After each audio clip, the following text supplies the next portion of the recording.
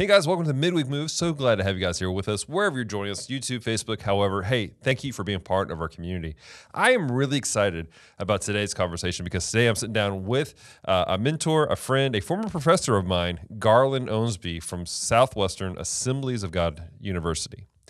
And uh, I, while I'm excited about this, because of the way that we had to do this interview, uh, we had some technical difficulties. So I'm afraid that the audio and the visuals won't be quite as good as what you guys are used to here coming from us here at the Midweek Move. But the conversation is really, really good. And we really get into some really interesting behind the scenes aspects about what's taking place in today's chapter. So I really encourage you guys to lean in, listen carefully to what's being said, and take some notes as to what is being said and, and give us some feedback. Let us know your thoughts on what's being said today. All that being said, let's get into today's conversation. Today on the Midweek Move, we're talking about what it's like to trust in Jesus while you're trusting in the system.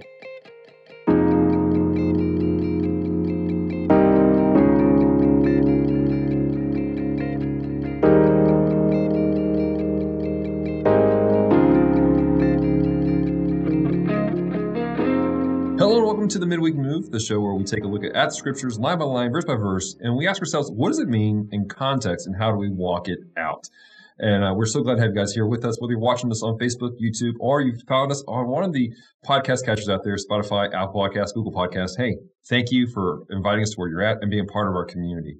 Today, guys, I'm excited because I'm being joined by uh, someone I like to consider a, a mentor of mine, a, a, friend of mine, someone who I find to be hysterical and challenging. Ladies and gentlemen, meet Garland Owensby. Yeah, no, no, no pressure there, Dallas. and you've got you've got a great voice for this too. I feel I feel like I've got to lower my voice. Just, uh, you got a good voice. oh man! Well, hey, thanks thanks for inviting me out here today. Yeah, absolutely. So, for those of you who don't know Garland, Garland uh, is a uh, he's a professor at Southwestern Assembly God University, SAGU, uh, and you're a comedian and a father. And what else do you do? I feel like you do everything out there. I, am a husband. There you uh, go. All right. All um, well, and we uh, we host a small group of middle schoolers uh, at our house on Sunday nights. So we're still active in youth ministry all these years later. Right. Uh, get to travel, doing camps, convention, training, all sorts of fun stuff like that. But uh, right right now, my my focus is I've got a I've got a, a, one one son that's married, wow. and uh, I've got two sons. One's graduated, one's about to graduate in May. So I'm just prepping to like not have any kids at home right now. So you're, you're uh, there's a tinge of sadness. well, yeah, I you know I used to joke because uh, our one son when he was uh, 15, we had to buy him a new mattress. And the guy at the mattress store kept saying, you know, this one, it's got a 10 year warranty. And I was like, do you have one with like a three year warranty? Something, you know, when he turns 18 is going to be uncomfortable. And now, uh, now that they're moving out, I'm, I'm sad. Oh. I, I love my boys. Oh, so. yeah.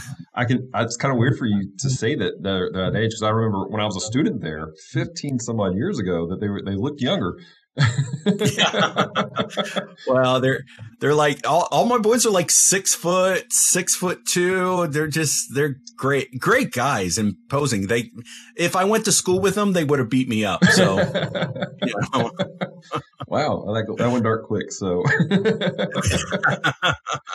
oh man. So one of the things I love about our show here is that we bring in a lot of people who have different perspectives, that have a lot of different worldviews, and have a unique voice. I've mentioned this several times in the past, but uh, Garland, I'm excited about you because you have a unique voice in the fact that uh, you are a teacher, and um, but you are currently teaching a couple of specific classes uh, that actually are in the background of this book. What are those classes you're teaching over there at Uh, well, I, a few things. I, I, teach a class called Bible Study, which um, it's introductory hermeneutics. Right. And I kind of the first day of class, I tell them, I said, you know, my my job is to help you understand the Bible so that you can be the best you know, deacon or the best small group leader because we have people that aren't going to become pastors in that class. Right. And then the other side is I say I you know my goal is to keep you out of a cult. right? And and so the, we teach them how do you find the Greek? How do you find the Hebrew? How do you find the historical cultural background? Those sort of things. And and really trying to empower every student regardless of their major that they too can interpret scripture. So that plays a role. But the other one that uh, I don't teach often is it's called pastoral epistles and Thessalonian epistles. And what we're able to do with just about every single one of Paul's letters is to go, this is where he was in the book of Acts. Right. So the pastoral epistles are, they're the only ones that we can't go, all right, we know exactly where this is placed in the book of Acts. And that's a whole nother, you know, rabbit trail to go down. But, uh, we know when he's writing Thessalonians, it's, it's not too long after the events that are going to happen here in Acts 25. Right. So it's really interesting because these are the background things and, when you understand, this is the reason why it's important to read not just a portion of the scriptures, but the entire context, because the picture becomes so much more dynamic. When you get to the pastoral epistles, you guys need to come into it with understanding that Paul's been in prison for two years. He's been doing yeah. all these things. And again, uh, I want to encourage you guys to check out last week's episode. We left off with uh, Felix leaving um, Paul in prison, basically for two years, expecting a bribe from him and him not being willing to give that up.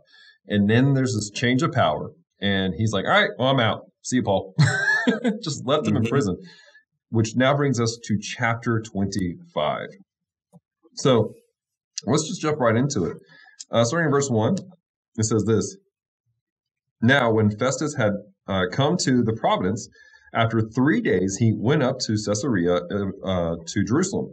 Then the high priest and the chief men of the, of the Jews informed him against Paul, and they petitioned him, asking a favor against him, that he would uh, summon him to Jerusalem while they lay in, in, lay in ambush along the road to kill him. What's this happening here, uh, Garland? It, it's interesting because we look and we go, "Oh, this is corruption." Uh, really to the Romans, it was just a way of life. Hmm. Is this is what you did? Uh, we know historically, fifty percent of the Roman population was they were enslaved. Right. Uh, and and it's not the harshness that we think of today. Um, I even though this is, I do not want to make every uh, every part of this equal, but it's almost like being a minimum wage hmm. worker hmm. where it's easy for somebody to go, why don't you just quit and get a job? It's like, you don't understand. I live paycheck to paycheck, mm-hmm. sometimes day to day. Right. I can't just pick up and leave without hardship. Right. And so what the, um, since there were no, there was no social, um, safety net, there was no Medicare, there was no, you know, social security, anything like that. And so you were dependent upon your family or you were dependent on somebody who was really rich mm. to take care of right. you. And that person was called the patron. And so this the whole Roman Empire. If if you want to it's almost like the godfather you know? It's like okay uh, you're the patron and and i'm going to come to you and i'm going to ask you for a favor. And that favor could be financial it could be judicial it could be any number of things. And so once you rose to that level of emperor you were like a god. Yeah. but then these other governors and these uh, their their object was how am i going to attain the power? Well how do you attain power you get a lot of people that owe you a lot of hmm. favors. Mm. And so this this is a case where the Jewish leaders were looking and they were saying, we're looking to Festus as our hmm. savior. Mm. He's the one that we want the favor from. They don't need the favor from Paul. Paul is is just an annoyance to them, and if they can just get him out of the way, so it, it's kind of unlikely bedfellows. Right. You, you know, um, but here, the problem with this is when they ask Festus for a favor, what's going to happen is he's going to hold them accountable as right. well. So one day he's going to ask them for a favor. So really, they're they're striking allegiance uh, with someone they don't want to be in in bed with. Right. right. It's it's a really crazy situation you see taking place here because there's a lot of things that we don't see just from reading the text. You have to kind of dig in and understand a little bit. And I think one of the problems that I see personally is a lot of times we'll look at the text with an American mindset, a 2022 American mindset, and we're going, "Oh, this is no, this is there's a lot of deep stuff happening here in the background, which is why we need to read other things." yeah, yeah. The, the whole the whole issue of power dynamics is is very important in the first mm-hmm. century mm-hmm. that if you were a slave you had no power right.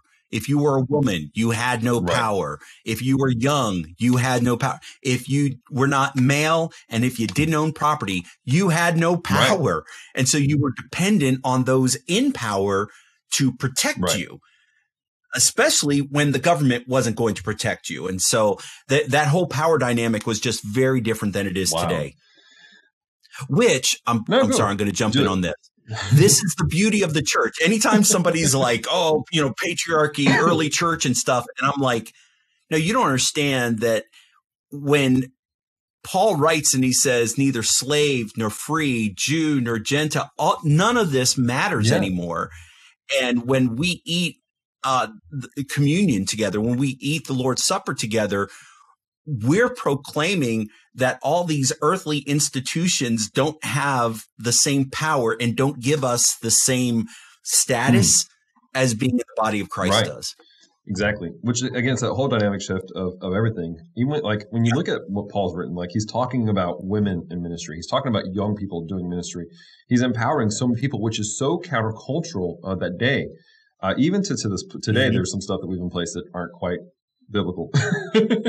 but oh yeah, Paul's laid out here. And and so th- this whole you know, I, I know we were talking about this, just the idea. It's like, well, you know, this chapter isn't that exciting, exciting because it's just, you know, a bunch of people's names and, you know, stuff like that. But really what, what Luke is doing is he's going, this is a power right. struggle. This is, this is political theater that's ha- taking place right here. Uh, you can think of like yep. there's all kinds of movies that people love to watch. There are these like political power play movies. Then this is it. Like these are chess pieces being shifted around the table, and it's getting tight for Paul right now. Like he's really yeah. looking for people, the most. love House of Cards. They love Succession. This is this yeah. is that. It's political intrigue. Absolutely. So with what's happening here right now, again, they're they're wanting to lay an ambush. They want to kill Paul, and they're they're thinking Festus, you know, just move over here. We'll we'll take care of the situation for you. All right, verse 4. But Festus answered that Paul should be kept in Caesarea and that he himself was going there shortly. Therefore, he said, Let those who have authority among you go down with me and accuse this man to see if there is any fault with him.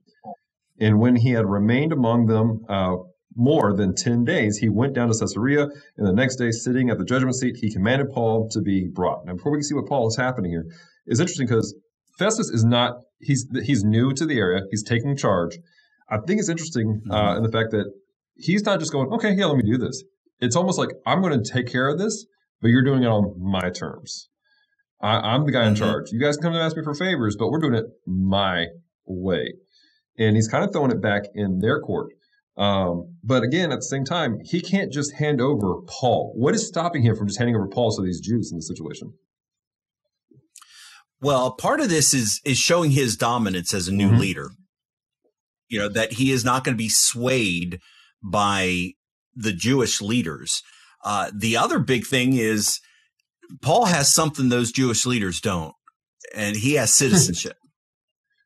and and that we've we've already seen him use this, but um, it, that's gonna that's gonna be a big deal in his life. Um, we don't know exactly how he got this citizenship. Part of it may have been that, um, again, we can go back to favors mm. that, uh, I'm sorry, I'm going to forget some names here, but uh, the Paul was born right. in Tarsus. Tarsus was a battlefield. Mm. So it was important, uh, important port city. And so, uh, what I, I'm sorry, I, I think it's, uh, that there was a battle and they took the side of one of the Caesars and that Caesar mm. won. And as a favor, as a benefit to them, said, "Okay, you guys, you all get right. citizenship." And so uh, that that was a big yeah. deal. So it, it would it would have been uncommon for a Jewish man to have citizenship, and so you can understand, you know, them at first not thinking Paul would qualify, right. but yeah, he he knows Festus comprehends oh, yeah. this. Again, there's a there's a phrase that's been out there that's been used in movies, other kinds of things. With citizenship comes benefits, and yeah, um, there yep. there is a benefit to being a Roman soldier at this time. And it's interesting because Paul he's been writing this line the entire time through of having the benefits of being Roman, but also having the benefits of being Jewish.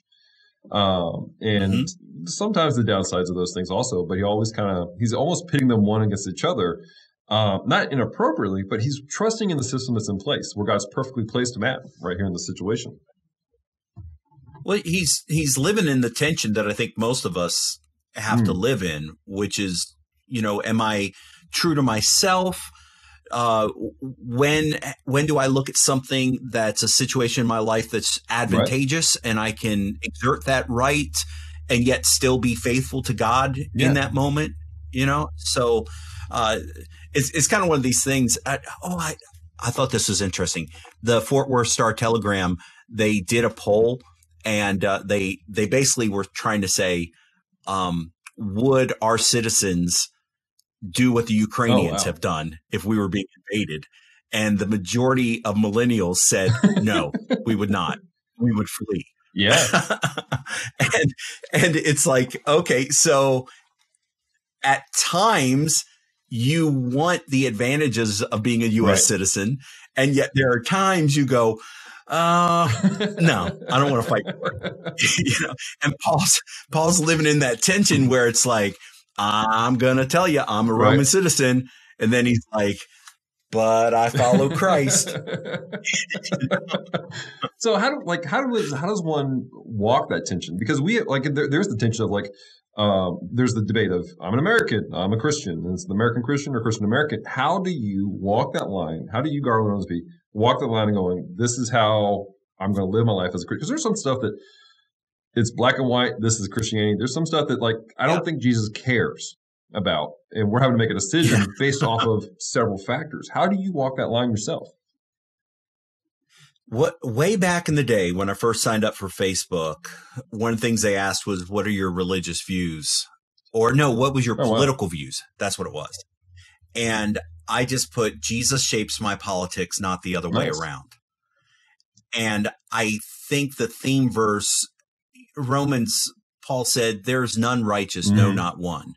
And for me, that meant there is no man on earth that is completely righteous, and there is no system politically anything that is righteous. And so I think we embrace the the areas that agree mm-hmm. scripturally and we protest the areas that don't agree yeah. scripturally.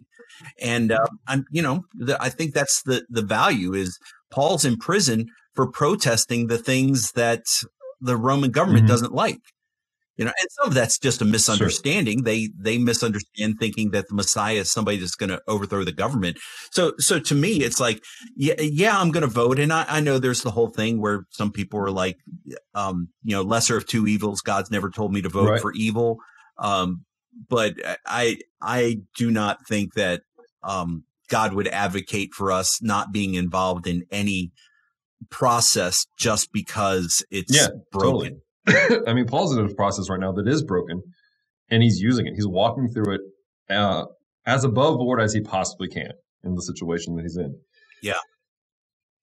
You, you know, so, something else to, to, point out on this is uh, today, when we think about it, we can figure out how much it costs and how much private prisons mm-hmm. make uh, from jailing people.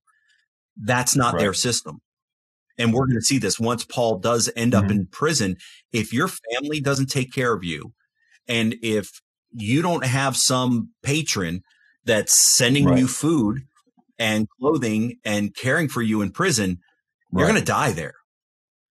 Uh, and so Paul's letters, where he's thanking the Philippians for their gift, it's it's really important because if he doesn't have support from outside, he he dies. So in in this sense, when when he's when Festus is trying to figure out, do I send him to prison or not?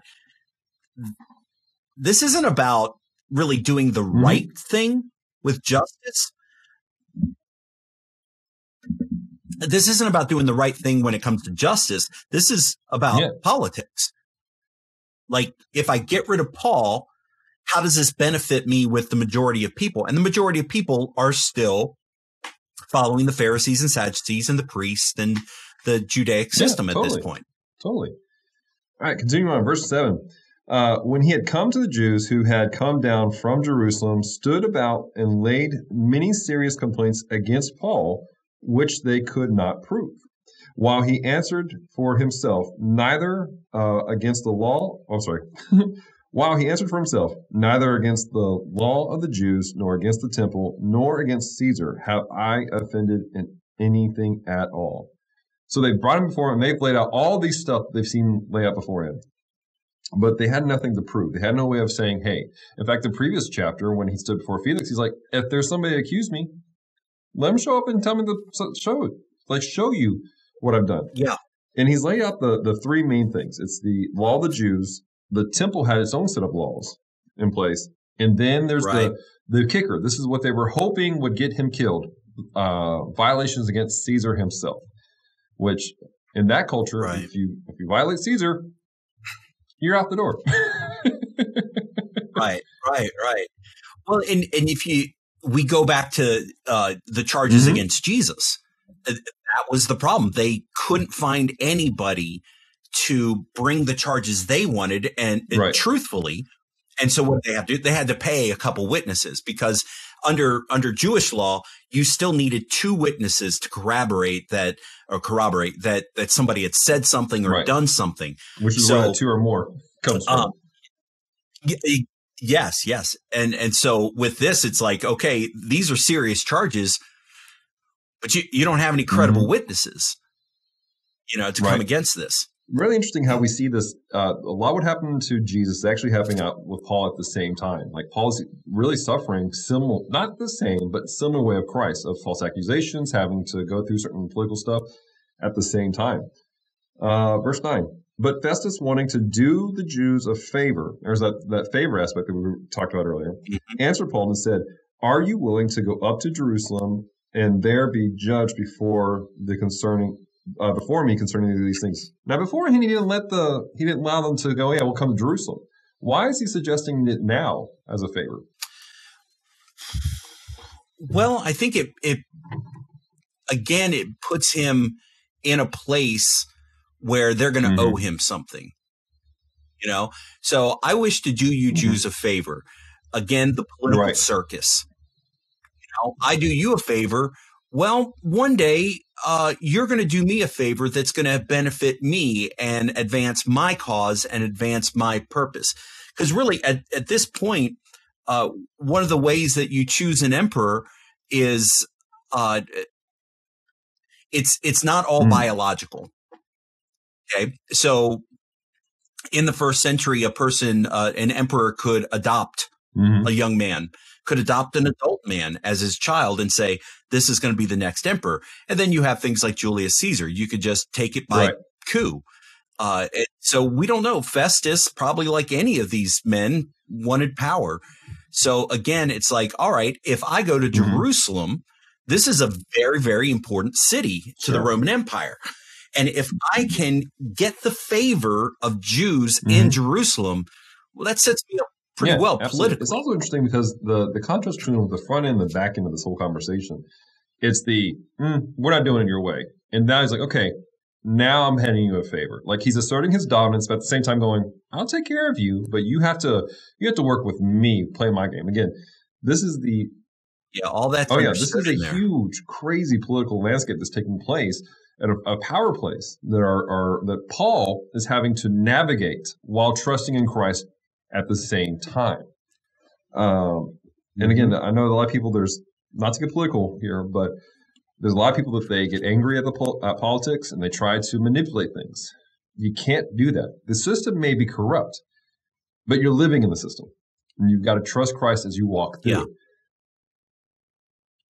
Well, if you look, basically, what Paul's saying is my my hope isn't in whether the Jews right. are happy with me, and my mm-hmm. hope isn't whether Rome is right. happy with me. That that's mm-hmm. not ultimately mm-hmm. the goal for him. Yeah, it's it's Christ alone. yep. Verse eleven. For if I am offended, I'm sorry, if I am an offender or have any or committed anything deserving of death, I mm-hmm. do not object to dying. Which I think is that's a bold statement. He's like, if I did something wrong, kill me. He's like, I am willing to take the punishment yeah. that's set before me by the legal standards if they're real. Like if I legitimately have violated these things, yeah, I, I deserve the punishment. Well, and, and th- this goes along. Remember uh, Gamaliel earlier when and is just like, listen, if this thing is of God, just yeah, we'll let it we'll let it go. And if it's not, it'll fizzle out. And he gave, you know, two other references. He goes, this happens. He's like, we don't want to make martyrs right. out of these guys because martyrdom is what makes a, an issue explode. Uh, and so there's that. But I love that it reemphasizes Paul's ideology that if I live, right, that's good. I, there's there's a purpose for my life. But if I die, right, I'm going home. I'm going to be in heaven with Jesus. And so it's it's kind of the one thing. It's like we we can get so stressed out about Earth and all the things I, literally okay so i was i told my wife i said i read an article where the uh, the us government has updated their guidelines on um, nuclear fallout yes please continue yeah and you know i told her i said well one of the things that was fascinating is it basically kind of said hey if you're not within 60 miles of this just stay inside right. you'll be okay you know it's like I'm, I'm not trying to diminish the impact but it's like yeah, unless you're right there in the zone, just give it time. The earth is going to spin and, right. and, it'll go away. It'll, you know, fine. But I told her, I said, you realize how many people are dealing with anxiety because of this? It's like, is today going to be, we call the return to Christ right. the blessed hope. You know, I, I've always thought it's like, all right, if, if I was going to get mugged, you know, people go, "Oh, there's nothing in your wallet that's worth your life," and I'm going, "There's nothing on earth right. that's worth my life." you know, you can, you can have it all. You can take. You want to string me up? Fine. You want to shoot me in the head? Fine. I, you know, great. So while I'm here, I'll live for Christ, and if you kill me, right, I'll be with Christ. So this whole "I'm going to kill you" thing can't threaten me with a promise. Festus Festus lost his yeah. his power again. you know, the Jews have lost. They're, they do not understand. It, uh, you ever hear this thing? It's like they're playing checkers and right. Paul's playing chess. Exactly. That's exactly you what's know? going on here. Again, this is this is his mindset. He's like, you know, to die is gain in so many ways. Yeah. And he's okay with that. Yeah. I mean, he's okay with dying. you know, he's like, this is law. Fine. Here's Jesus. You know, you know, I'll go out telling you who he is. yeah.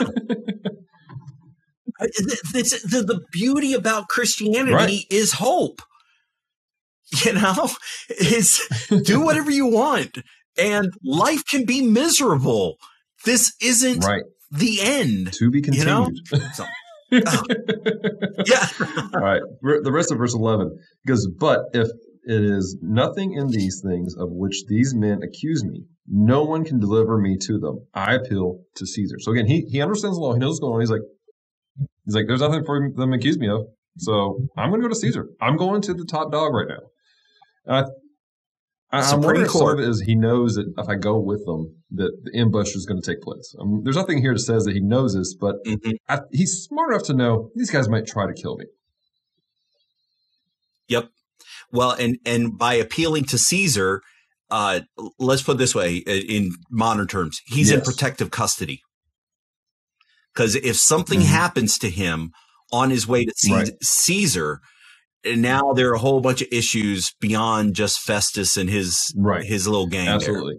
Uh, again, he's got to take care. Festus has to take care of Roman interests first. Roman interests is mm-hmm. don't kill Roman yep. citizens, plain and simple.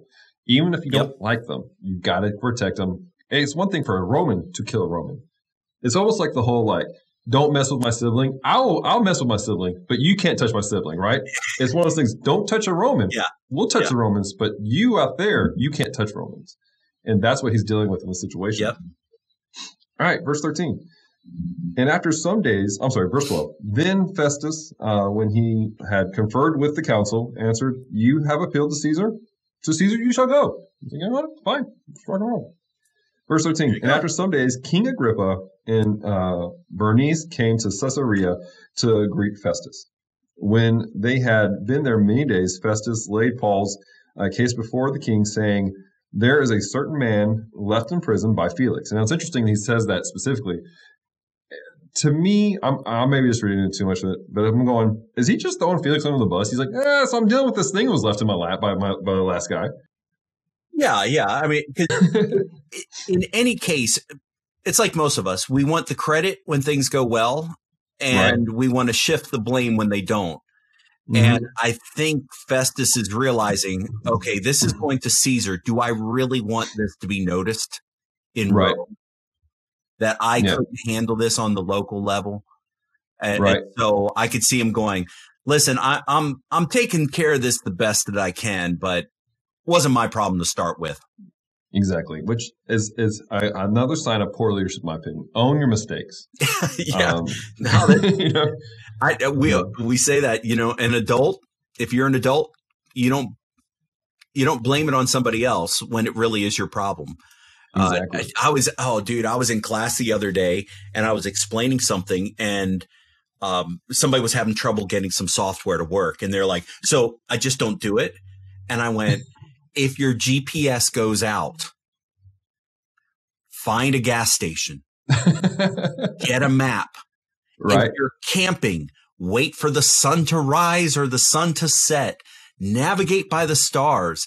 Said you've got to learn how to be persistent. You just Right. can't give up. Okay. oh man, so but, uh, just kind of a super side story about the whole like owning your mistakes, everything like that. Um, we were talking about before the show about uh, there's another professor that uh, used to be at uh, that joined the dark side, gone somewhere else, uh, Dr. Magruder. And um, I, Magruder was my preaching prof when I was at SAGU, and I used to tell people I was like, "Look, I'm this is where I learned how to do stuff, and I teach kids how to preach." Uh, here at our church, that's one of the things I've done several times is teach a lot of our young people how to preach, how to prepare a message. I said, "Look, if you," and I tell people when I preach, like, "If you like my preaching, blame Magruder. If you don't like my, my preaching, it's my fault." so, all right, But it is completely true. off topic. Like, I, the thing I I say in youth ministry is uh, the youth pastor is never going to leave the church because he hates the youth ministry. If you hate Mhm. the youth ministry, it's your fault. You're the one that built it, right? so good. Oh man. All right, verse um I've lost track where we're at. Um oh verse 14. 14. Um no, verse 15. And about whom the chief priest and the elders of the Jews informed me uh, when I was in Jerusalem, asking for a judgment against him. Verse 16. To them I answered, It is not the custom of Romans to deliver any man to uh, destruction before he is accused, the, uh, before the accused meets the accusers face to face. It has opportunity to answer for him concerning the charge against him. So again, this is him laying all the cards on the table, going, "Look, I'm handling everything above board as best as I can. This is a terrible situation. These Jews just want me to throw Paul out there, but I'm taking care of the Roman." Um, and in the again, process there, huh? it- it's in the process. It's not our custom. That's not what we Mhm. do. There, Right. There's a little bit of an elitist thought Mm. there too. We're Yeah, we're not like because there was definitely a distinction between Jew and Gentile, and the Jews didn't like the Gentiles, and the Gentiles didn't like the Jews, and so now the Gentiles are in charge. And it's like, Yeah. well, it's our custom, and we know you guys have your customs, and the emperor's letting you guys worship the way you worship, but when it comes to civilized people, this is how we do it. there's a little bit of pompousness, which we're going to see Oh, even yeah. more here in a little bit. Uh, verse 17. Therefore, when they had come together without any delay, the next day I sat on the judgment seat and commanded the man to be brought in. When the accuser stood up, they brought no accusation against of against him of such things, I suppose, Mhm. but had some questions against uh, against him about their own religion, about certain a certain Jesus who died, whom Paul affirmed to be alive. So the, he he sums up all the accusations. Their own religion. He's separating himself from the Jews. He's like, this is a, this is a squabble between people of their own type of thing. And then a certain man, uh, Jesus. Now it's interesting that he says it that way because he's he's going. I don't know anything about Jews. I don't know who this Jesus guy is. He's dead, but apparently he's not dead. I'm very confused. Like you're seeing his ignorance almost. Well, uh, here's here's one thought: Mhm. Who killed Jesus? Who put him to death? Right. The Roman government, Right. right? He he wasn't he wasn't killed by the Jews. They're the ones that brought the charges, right? But Right. he's killed. So how would it look for a representative of the Roman government to admit that they didn't do their job well, and that Yeah. this myth uh, of Jesus being alive was true. So there's again, there's some of the political theater there, and obviously he doesn't. He's not a follower of Christ. It doesn't mean anything to him.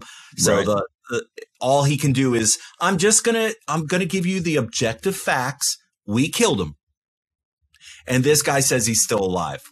Right. you know so because even in verse i was at a loss how to investigate such matters good he's not there you know we what are we going to do so Right. because remember, part of the thinking was that the apostles had stolen his body out of the grave so obviously rome is going to admit yeah there there's no one in that grave but here's the reason grave Right. robbers Yeah. that's common You know. Yeah, totally. So again, he's just laying everything out there for Agrippa here. Uh, we'll jump down to 21. But when Yeah. Paul appealed to be reserved for uh, the decision to, of Augustus, I commanded him to be kept till uh, I could send him to Caesar. So that whole being kept, uh, being kept there, it was saying that he's like, look, he's being kept, he's being secured, nothing's going to happen to him. Again, Romans take care of Romans doing my job and we're going to get through this process how as quickly as we want to get. Uh, verse 22. Then Agrippa said to Festus, I also would like to hear the man myself. So he's intrigued. He's like, this is a weird thing taking place, which is interesting. I think a lot of people feel like um, in these terrible situations, God should just remove us from him and we should just, you know, move on. The fact that Paul's willing to walk this journey out above board as he is, Mhm. it's actually opening the door for, for more people to hear the gospel. It's actually giving more opportunity for people to hear who Christ is and the effect that he has had on Paul's life and others. And um, I mean, this is completely a side type of thing, but I want to encourage folks if you're going through hard times, it may be an opportunity for you to share the gospel to folks who would never hear it before. what one of the things that I was reading was about Agrippa is that he had a better familiarity with Jews and Jewish custom. Hmm. And so for him, it was like almost bringing in a lawyer with a better expertise. Hmm. You know, so Festus is going, I, I'm not really familiar with all this stuff. And Agrippa's Right. going, you know, I've got more experience. Let, let me listen to him. That's Maybe I can give you some advice right. with the the more experience I have with Judaism than than you do. yeah, but- wow, that's So again, le- I'll do you a favor. All the favors taking place here. hmm Um, verse 20, to- uh, 22 or 23. So the next day, when Agrippa and Bernice had come with great pomp and had Yes. entered the auditorium with the commanders and the uh, prominent men of the city at Fe- uh, at Festus's command, Paul was brought in. And Festus said, King Agrippa and all the men who are here present with us, you see this man about whom the whole assembly of the Jews petitioned me both at Jerusalem and here, crying out that he was not fit to live longer. But when I found uh, that he had committed nothing deserving of death, and that he himself had appealed to Augustus, I decided to send him. So uh, that's interesting. He said that uh, the whole like he's done nothing to deserve. Like I found he's innocent for the most part. I almost wonder if Caesar, if he had not, if uh, Paul had not said, "Let me go to Caesar," he says, "Not judge me now." If he could have gone free at that moment, but because he had gone, said, "I want to see, uh, I want to go to Augustus," then uh, he was forced. Okay, you're going to have to go to Caesar then. Yeah, yeah, totally. Uh, Uh, I'm going to do a little side note. Yeah. I found he had done nothing deserving of death. Do you know what the Greek word is for death No, in that verse? Mm. Thanatos. are you for real? Yeah. I had no idea. Thanatos. It sounds like somebody's name. Yeah, somebody. It's kind of a snappy name. Uh, yeah, Um, it's, a, it's he he's making that appeal to the emperor, so it's like, okay, well, you know, it's his right. He can do that, and we maybe could have resolved this, maybe not, you know, but we we don't know. We don't know what Festus would have done in that case. Right. Verse 26. I have nothing certain to write to my Lord concerning him. Therefore, I have brought up, brought him out before you, and especially before you, King Agrippa, so that after the examination has taken place, I may have something to write. For it seems to me unreasonable to send a prisoner and not to specify the charges against him. What has he just said in this situ- situation here? Yeah, he's just he's looking for something, kind of grasping at straws. It's like, Mhm. well, if I if I send him to Rome, I, I'm not sending him as a someone who's broken Roman law. Right. And so I'm really kind of trying to figure out as a citizen, he has the right to appeal to Rome, but they're I'm going to send him and Rome is going to go, well, this is none of our business. Why why are you wasting the court's time hmm with a charge that it, it would almost be like uh, you're making a small claims court in the Supreme Court. Mm. Th- This isn't this isn't really where we handle these things. Right. So Festus is like, I gotta I gotta have some Roman validity to send him on to the emperor.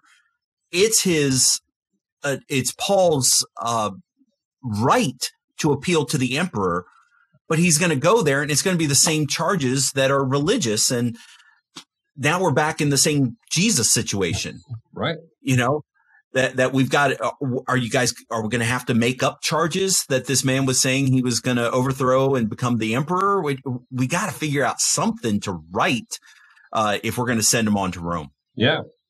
So a lot of again, uh, we said this at the beginning. There's a lot of power plays taking place, a lot of political uh, theater taking place. There again, while on the surface, this is just a very okay. This is what's happened. Underneath it, all this shifting, everything, it, it is political theater 101 taking place here. So, Garland, you, you know yeah. well uh, uh, there's a there's a really good book i'm i'm sure somebody's referenced this uh, but it's misreading scripture with western eyes okay, have you heard that one I have not. and it's uh, co-written by a professor and a former missionary to Indonesia. Hmm. And so they bring different understandings and really go be- behind the text. But one of the things they say that is very appropriate to what we're talking about is uh, the things that are said without being said Hmm. you know and it's the stuff that's implied because culturally we get it Right. you know so like somebody does you a favor and of course in our culture you go well thank you Right.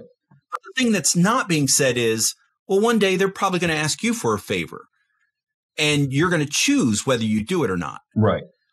well the thing that's not being said here is no festus you bring when they say respect Mhm. uh, remember Bernice and Agrippa show up to pay their respects, as Mhm. we would say. Well, it was probably literally payment Right. of respect. And so there was probably an exchange there. It's more than just, hey, we just want to say hi. You moved into the neighborhood. Uh, So there are things being said. And that's one of the benefits to reading this historical cultural background and understanding what was being said without any words being used. Yeah, totally. Absolutely. So, what's your big takeaway, Garland? If you were to sum up this chapter, what's something you would walk out in your own life with this? my my big takeaway is there is there is a system and there is a process and we're going to trust the system and the process to do what's right Hmm. but we realize that that system and that process are being administered by fallen people by Mhm. sinful people Yeah. and so ultimately, we place our hope in the same place that Paul placed his hope that if I die in prison, which he did, Mm-hmm. if I'm executed, which he was, I did the right thing. Right. I did the right thing. And ultimately, this world has zero power over my eternal uh, life. Exactly. So good. And I want to kind of expound on that. The he was failed Yeah. by a political system and a religious system. Paul was a Jew. He lived as a Jew. He said he was a Jew of Jews. Um, he just believed in fulfillment of everything that Judaism was looking for, was which was Jesus as the Messiah. And so he was failed by. Uh, he worked within and lived by corrupt systems on every side of life. It's not just like some people there. There's a lot of church hurt out there. It's because people put too much stock in people, not realizing the their pastors, their their bishops, their um, their their Sunday school teacher, everybody. They're just as flawed as them, and Yeah. our governmental people are the same way. And we have to be going, be willing to go. Man, I'm so sorry. You know, you you you've, you have fallen for whatever reason, um, and, but that's not going to affect my relationship with Christ. And we have to have grace for people, be willing to restore people also. Um, but also we have to make sure our foundation is on Christ, not on our person. My relationship with Jesus is not reliant on my on my senior pastor, uh, on my associate pastors. It's not on the the president of SAGU. It's not on um, the the uh, any leaders of any religious organizations, and it's not on the president. It's yeah. on Jesus and my relationship with him. Period. Yeah, I, that's it's so true. It's you know I, have said that uh, you put me in a room with the most holy person you know, and within five minutes I can get them repenting of something. right. And and it's we're all imperfect. Mm-hmm. We're all imperfect, and um, I think one of the things we need to work on is the way that the way that the world under that they would understand that we're not perfect mm. either uh, and being able to communicate that through grace and the way that we interact with them that uh, we're we're all less than god absolutely and our only thing is that we have recognized it and to the extent that we need a savior. Absolutely. Absolutely. You know? So good. Well, guys, that was Acts chapter 25. Hope you enjoyed this conversation. Hope it's challenged you. We yeah. want to hear from you guys. Reach out to us, mediahub at thpshreveport.com, or uh, you can find uh, Midweek Move on Facebook. Reach out to us. Let us know how this has encouraged you, how it's challenged you, how, what's your next step, and how can we pray with you? Like, how, like literally, how can we pray with you through whatever you're walking through today? Uh, Garland, how can people connect with you, and uh, what, uh, what are some great things that you want people to know about? Yeah, uh, well, my, my website is garlandowensby.com, and I'm sure in the show notes or title or something you'll have the spelling of my name, but garlandowensby.com is uh, my website, and uh, I do comedy. You can find that on Spotify and iTunes and Amazon, all those places. So uh, if you thought anything I said was mildly funny, I can tell you that there's better stuff. um, but then I, I, think most of all that I, years ago I felt uh, my calling was to, to train ministers, uh, specifically to train them uh, to reach adolescence. And so I've been doing that a long time, and it would be an honor uh, to to be able to help anybody to do that. And so the way that we do that is through sagu.edu, sagu.edu, and we have both distance ed and on campus uh, um, uh, programs uh, for all sorts of things. But uh, again, my calling is is training people to, for ministry, and so I would I'd love to have that opportunity to do so. And thank you, thank you, Dallas, and I love what you're doing, and I just think it's cool. There's such a I, t- I talk about you in class all the time because oh, wow. I yeah well I I tell them I said you know um I don't know everything you're going to do in the future. Right because I don't know your personality as well as you and God do. Right. And and so I just think it's cool. There these people that think doing ministry, it's like somehow you either have to be an athlete or a type A leader type person, or you got to play guitar. And I just love that we have people coming through that it's like like you know, you would call it geek or nerd or whatever, but it's like God wants to use all sorts of people. Why? Because there's somebody just like you that needs to see Jesus in you. Word. I appreciate that. So I appreciate you. I, I love what you're doing. Thanks so much, Garland. Well, guys, again, connect with Garland if you can. And um, hey, again, thanks for being part. I want to encourage you to share this podcast out. Don't just blind share it, but really ask God who does needs to hear this message, who needs to hear this conversation. Share it out with them. And I want to take encourage you to take the next step. Sit down and listen to it with them. Like do the Bible study with them on your own, and let us know what how you grow from it. Until next time, guys, have a fantastic week.